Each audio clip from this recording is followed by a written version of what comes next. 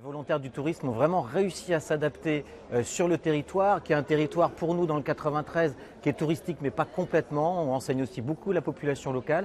Et donc ils sont allés dans des lieux, dans les puces de Paris-Saint-Ouen évidemment, au pied de la basilique, au pied du Stade de France, mais où ils sont aussi renseignés la population locale. Les volontaires ont permis vraiment euh, d'être au cœur et au plus près de la population pour les renseigner sur ce qu'il y avait à visiter, sur ce qu'il y avait à faire sur le territoire. Et en plus ce sont des jeunes qui sont très volontaires, très participants, qui veulent vraiment renseigner les gens. Donc c'est très intéressant parce qu'ils vont pouvoir découvrir de multiples touristes avec différentes envies, euh, la population locale également, et ça permet aussi de découvrir plein d'une une offre culturelle diverse et variée sur l'ensemble de l'île de France.